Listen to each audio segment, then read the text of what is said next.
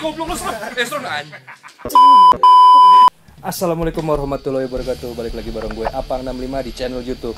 Jadi hari ini gue menghabiskan hari-hari gue yang semu Untuk bantuin Bapak Hezron Si pemilik anjing yang badannya sama badannya pengawalnya. Sini lo Gedean anjing daripada dia.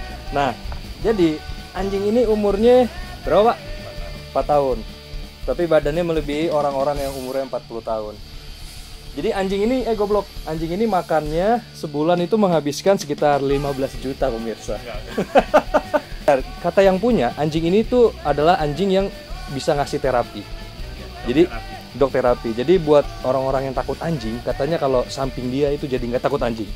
Nah itu terbukti paling nggak saat opening ini. Nih liatin gue, tuh, tuh, ya gak?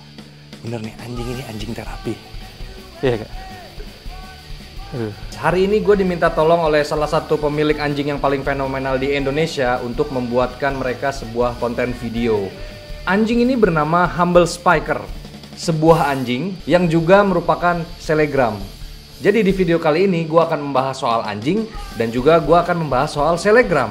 Karena si Humble Husky ini adalah anjing selegram. Nah, jadi Spike ini adalah salah satu jenis anjing yang cukup langka di Indonesia. Jadi pertama kali, lu pasti lihat anjing ini, lu kira anjing ini adalah anjing husky. Tapi setelah gue teliti, anjing ini adalah anjing Alaskan Malamute. Anjing ini berbentuk lebih besar dibanding husky. Semakin dia tua, semakin dia akan menjadi seperti monster. Gue dengar kabar anjing ini cuma beberapa unit ada di Indonesia. Unit mobil. Nah, yang hebat dari Spike adalah dia ini salah satu anjing yang punya uh, sertifikat terapi kata yang punya, namanya dog terapi ya.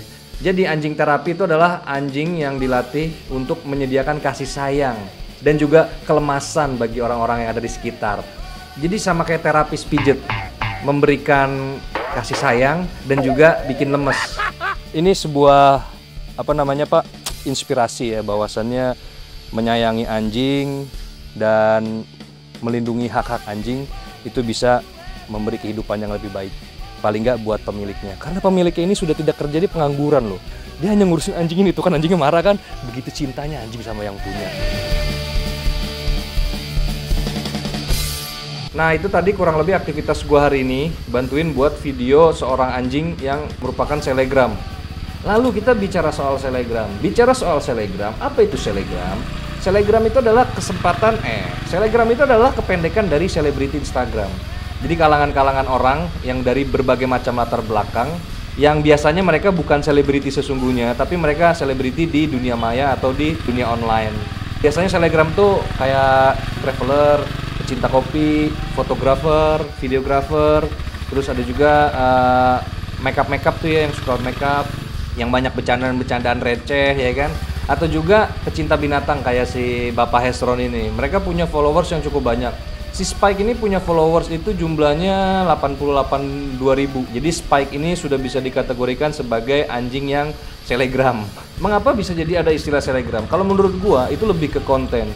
Kalau teman-teman lihat kontennya si Spike ini, dia tuh konsisten dia antara dia anjing yang suka jalan-jalan atau anjing yang suka foto-foto bareng artis. Ya, kayak kayak bisa dilihat ini ya. Ini anjing foto sama Sandi Aulia, masya Allah. Ini anjing ngaceng kagak ya? Anjing emangnya anjing. Terus ini juga ada anjing yang foto sama Sami Samurangkir. Eh, Sami siapa nih ya? Lu bayangin, Sami ini kan badannya otot semua. Sama nih anjing, beda badannya kurang lebih dikit. Artinya nih anjing gede banget beneran. Kalau mau jadi selegram itu biasanya ada kontroversi, ya kan? Urusannya tuh kalau nggak kontroversi sensasi gitu. Jadi itu ya uh, tema pembahasan gue kali ini uh, yang sudah ngomongin soal anjing dan juga soal uh, selegram. Semoga video ini ada manfaatnya, ada faedahnya buat teman-teman semua.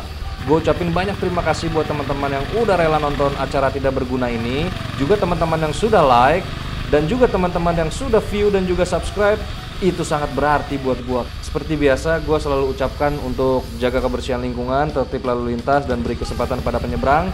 Dan wabillahi taufik walidayah. Wassalamualaikum warahmatullahi wabarakatuh. Gas John.